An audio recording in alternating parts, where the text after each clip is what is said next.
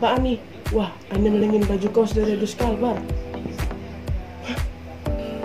Bajunya datang. Wah, coba pakai ah.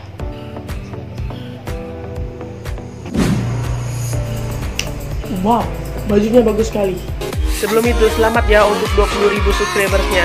Semoga channel Radius Kalbar bisa memberikan informasi yang menarik dan bermanfaat. Oh ya, terima kasih ya bajunya.